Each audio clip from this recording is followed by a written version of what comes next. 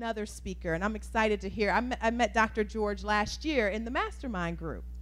And he had a lot of wisdom in that group. And I'm not surprised because he, he too is a very accomplished man. He, he's on the Today Show, he's been on you know, a number of different um, TV stations, and he's connected with Ebony Magazine. He's married to Dr. Candace. You know, we're talking about where power couples rock.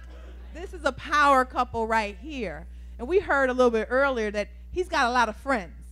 You know, so I, am thinking that his personality, he, he's got the kind of personality that just draws people to him. But he's also a licensed family therapist, and he works with couples and he works with people to help them um, deal with the situations that they have in their lives. And I'm excited because his topic tonight is one that I think will also hit home emotional inheritance from despair to legacy. Give it up for Dr. George James.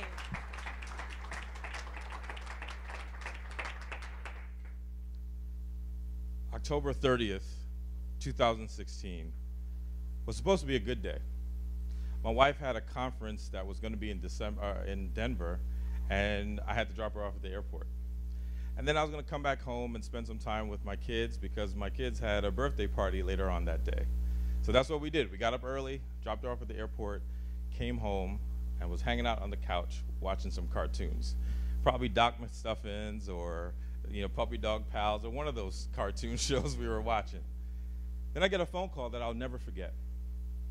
It was the nursing home calling me to say that my father had died. There I am on the couch with my kids, having to now learn that my father is no longer alive. I didn't know what to do at that moment, so I took myself upstairs in the bathroom and just tried to have a moment. Came back down, and my wife is on this five hour flight, and I know she's on the flight, but I want to connect with her. So I call her multiple times because I want her to know what just happened. Can't get her. She lands at the time that I think she would land, and I keep calling her, but I still can't get her because her phone's on airplane mode. I call my mother in law, who's on her way to church, and her phone's on vibrate. Now, if anybody knows my mother in law, she usually has her phone on a setting I call siren. It just blasts loud throughout the household so everybody can hear it. But this day, it's on vibrate as she goes to church and she doesn't get my message for throughout the whole day. So I'm there with my kids on the couch, wanting to connect with someone, being married, having family, having friends, but I couldn't get anybody. I don't know about anybody out there. Have you ever had a moment where you were connected? You knew you had family, you had friends, you had people in your life, but you felt alone. I was alone in that moment. And that's when despair hit in all by myself, having to deal with the thought that my father wasn't alive. Now, I've been a caregiver for almost 10 years. And what I mean by caregiver, my wife and I have been taking care of both of my parents because they both had dementia. My father had frontal temporal dementia, and my mother has Alzheimer's. We were actively in the household dealing with all the things that that meant. On a given day, that could mean wiping my son's butt because he had just pooped, and then going to wipe my dad's butt because he had just pooped. My five year old son would be happy that I just worked poop into this talk. it also meant bringing them to doctor's appointments, taking care of their medication, making sure that bills were paid, doing all types of things, including all the emotional stuff that meant as they worked through all that. Both parents in the house, any moment could be crazy, not to mention everything else we were doing in our life. And now, my father was no longer alive, I thought maybe the caregiving was over. I thought that that was it. But no, I still had to do more. I had to figure out all these funeral arrangements with the help of my wife and mother in law. I had to take care of all these different, different, different things, which meant I had to do this, what I felt, by myself. My sister couldn't help, she wasn't in that position. I had to do it. So much so that the person who was helping us with the funeral thought he understood the situation, that we were going to get money and take care of it. Uh, but then he started to add some pressure. The morning of the funeral, I'm going to the bank to get the last check to make sure that I could pay for the funeral. I start to wonder why do I have to still pay? Why am I still putting out more even after my father's death? A time when I was hoping that I would have an inheritance. I would have something because of his death. but I didn't. That's how I felt. I had nothing at that moment. And not on top of that, I had an extra burden. We didn't have the money. We didn't know where the money was coming from, but we had to find a way. And please forgive me. I was not going to do a GoFundMe page. I was not going to ask for help because I suck at asking for help. That is not me. It's something I struggle with and had to work through over and over. How do I ask for help? Much less, how do I ask for money? That was not going to be me. So I'm doing all these things to make sure I could figure it out. Once again, I don't know how many of you have ever tried to work so hard to figure something out and be at the place where you feel empty handed. That's where I felt at that moment. And I started to go from despair to anger. I started to ask God, why? Why, God? Where is my inheritance, God? That's what I was hoping for in that moment. Because I felt it, I didn't have it. I didn't have anything. Because then I got back to the scripture, Proverbs 13 22, that says, A righteous man or a good man leaves an inheritance for his children's children. But I didn't feel that. I didn't see that. I thought it wasn't there. As we know, God likes to play tricks on people. I found that God asked me, or God told me that you do have your inheritance. I don't know anybody ever watch, you know, Three's uh, uh, Different Strokes, where Arnold goes, "What you talking about, Willis?" I, that's how I felt with God. What you talking about, God?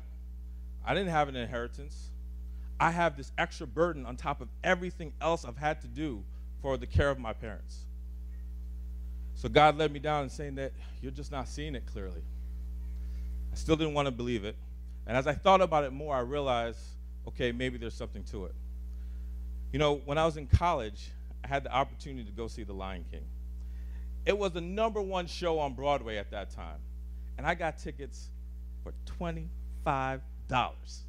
I could not believe it. Nobody could get to see The Lion King, but I got tickets for $25. You know, I knew it wasn't, it wasn't going to be orchestra, it wasn't going to be right there, but I was in the building. I was so excited. I got up to the seats, I got in, I sat down, and there was this big pole in front of me. they gave me what is called an obstructed view seat. I couldn't see clearly, I couldn't see the stage I had to either move to the left or to the right to see what was in front of me. God was telling me that my view was obstructed. I couldn't see clearly. The inheritance that I was hoping for wasn't there, but the inheritance that I received was. I received an emotional inheritance. Let me tell you a little bit more about my father. My father is from Jamaica, both of my parents. And I'm not talking about Montego Bay, Jamaica, jumping off the river uh, into the beach, Jamaica, on the, on the cliff, Jamaica. I'm talking about rural Jamaica. I'm talking about where you got goats on the side of the street. The lights get cut off at any moment. You don't even know if you got water, Jamaica. My dad worked hard as a farmer, and both of my parents found a way to come to the U.S. because they wanted to create a better life for me even before I was born. I was born in the United States that set a path for me that already would benefit me beyond my imagination. I was the first one in my family to go to college because they believed in education. And if we back up, my father was illiterate. He couldn't read, but he knew the benefit of education. On top of that, my father was an entrepreneur. And when I say entrepreneur for me, that's like how I call my dad. He was my Ralph Kramden. Anybody ever watched The Honeymooners? Ralph Kramden always had an idea. He was going to solve every problem. It might not work out, but he had an idea. And that was my dad. It didn't always work out. we probably lost more money with every attempt that he made.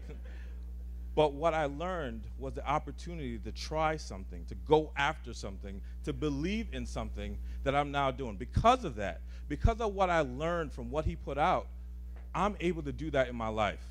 I recently received the biggest check I've ever seen in my life for doing what I'm doing right now. I'm able to do that because the inheritance I gained from my father. My view was no longer obstructed to the left or to the right so you can see clearly. That's the difference of despair versus legacy. It is the thing that obstructs your view of what you can have. We've been talking about presence. Our presence can be obstructed. We might need to move to the left or to the right so that we can be in a better position to connect with God. Some of us, our views are obstructed in the way that we see our spouse. We only see the negative that they do. We only see the bad that they do, the times they didn't show up, the times that they've hurt us. But maybe if we just move a little bit to the left or to the right, we might see all the good that they do, how hard they work. Some of our marriages, our views are obstructed. We've been looking at it through the wrong lens. We've been challenged not to be good, but to be great. How can you be great if your view is obstructed? Sometimes we got to move that thing that is blocking you out of the way. That is the biggest lesson that I learned.